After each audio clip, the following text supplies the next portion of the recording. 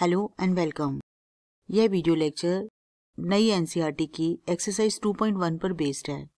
इस एक्सरसाइज को सॉल्व करने के लिए जिस तरह के कॉन्सेप्ट्स की ज़रूरत है, वे सारे के सारे इंट्रोडक्शन पार्ट में एक्सप्लेन किए गए हैं।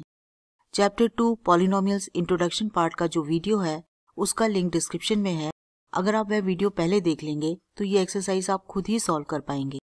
इस वीडियो को स्टार्ट करने से पहले मेरा आपसे रिक्वेस्ट है आप इस चैनल को सब्सक्राइब करें लाइक शेयर एंड कमेंट करके हमें बताएँ कि ये वीडियोस आपके लिए कितने यूजफुल हैं, ताकि हमको आगे वीडियोस बनाने के लिए मोटिवेशन मिले।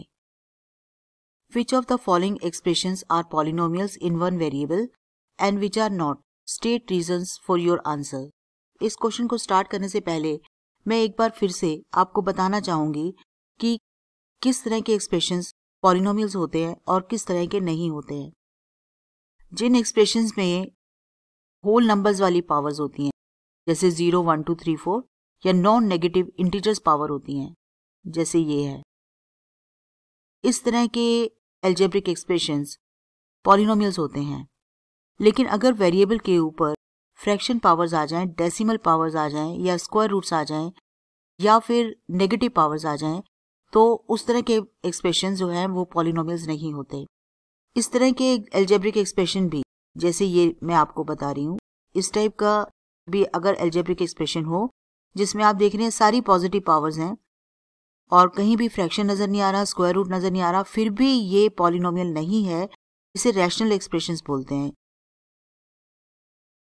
ये भी पॉलिनोमियल नहीं है, वो ऐसे सिंगल रो में होते हैं, ऐसे फ्रैक्शन की तरह नहीं लिखे हुए होते, जिनमें वेरिएबल्स पर नॉन नेगेटिव इंटीग्रल पावर्स हो या whole numbers as a powers हो वे सारे एल्जेब्रिक एक्सप्रेशन जो हैं पॉलिनोमियल्स होते हैं।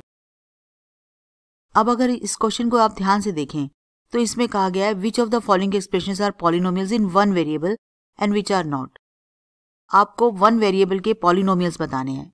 यानी वेरिएबल भी एक होना चाहिए। अब जैसे इसमें तीन वेरिएबल्स हैं तो ये पॉलिनोमियल नहीं है। अब फ़र्स्ट को देखते हैं, इसमें सिंगल वेरिएबल है एक्स और सबकी पॉजिटिव इंटीग्रल पावर्स हैं तो ये पॉलिनोमियल है। इसमें भी y अकेला वेरिएबल है और उसके ऊपर टू पावर है, जो कि पॉजिटिव इंटीग्रल पावर है तो ये भी पॉलिनोमियल है। अब यहाँ पर स्क्वायर रूट आ गया टी पर, यानी कि फ्रैक्शन पावर आ गई है। वेरिएबल पर फ्रैक्शन नहीं होनी चाहिए। नंबर पे फ्रैक्शन अलाउड है। अगर किसी नंबर पे फ्रैक्शन आ रही है तो उससे हमको कोई फ़र्क नहीं पड़ता।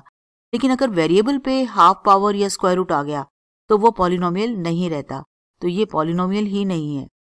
अब इस केस में, देखने से तो y पर वन पावर लग रही है, लेकिन ये जो y है, ये डिनोमिनेटर में है, और जब हम इसे न्यूमिनेटर में ले जाएँगे तो इसकी पावर माइनस वन हो जाएगी। इस तरह से नेगेटिव पावर आ गई तो ये भी पॉलिनोमियल नहीं है। तो इस केस में सिर्फ़ फ़र्स्ट एंड सेकेंड पॉलिनोमियल्स है third fourth and fifth polynomials नहीं है। Write the coefficients of x square in each of the following हमें यहाँ पर एक्स स्क्वायर के कोफिशियंट्स बताने हैं।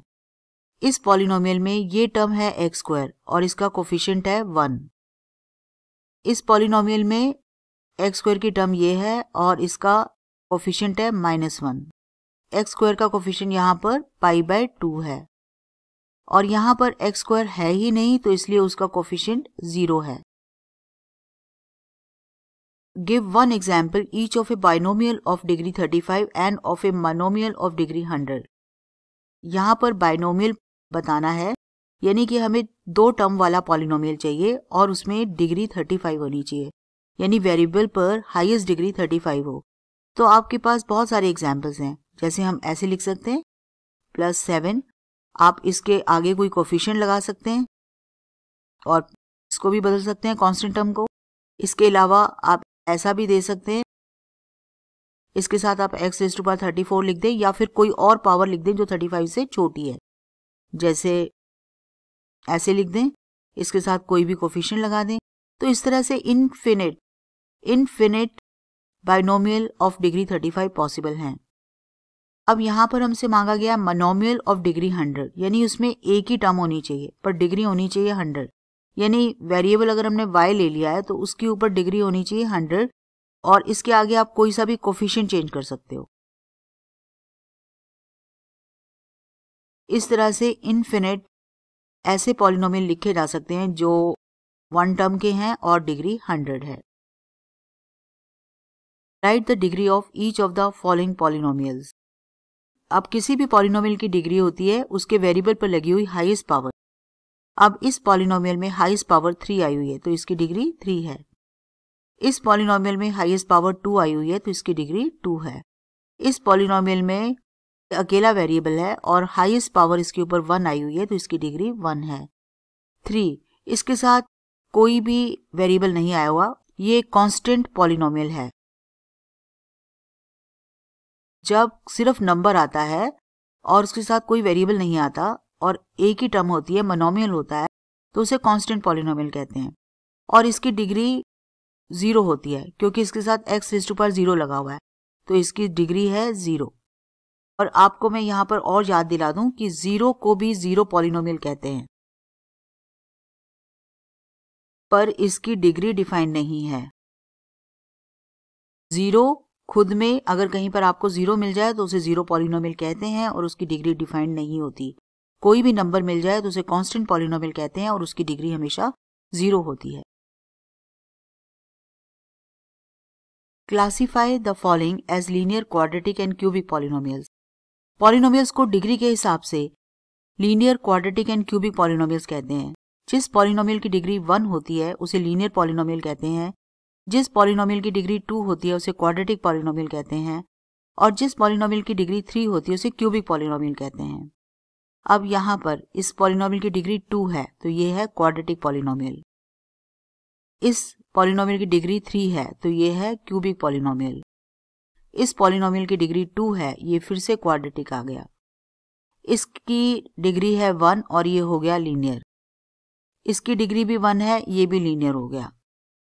इसकी डिग्री टू है, ये क्वाड्रेटिक हो गया। इसकी डिग्री थ्री है, ये क्यूबिक हो गया। अगर ये वीडियो लेक्चर्स आपको यूजफुल लग रहे हैं तो आप इस चैनल को सब्सक्राइब कर सकते हैं लाइक शेयर कर सकते हैं और कमेंट करके हमें बताएँ तो हमें इससे मोटिवेशन मिलेगा। Thanks for watching